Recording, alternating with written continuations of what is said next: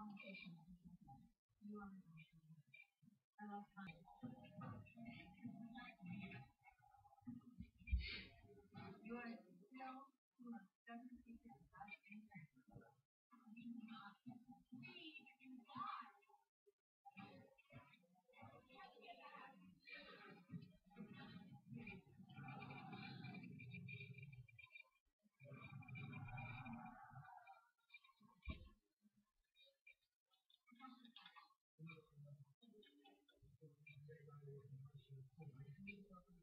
Thank you, Dr. Stewart.